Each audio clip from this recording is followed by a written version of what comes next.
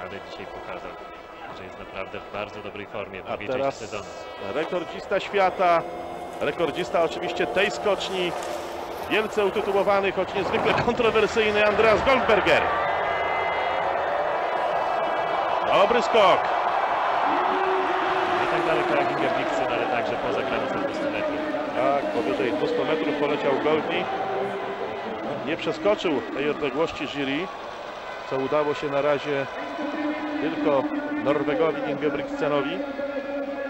Ale to będzie w tej chwili gdzieś myślę w granicach no, pierwszej dziesiątce będzie na pewno, w pierwszej piątce powinien być.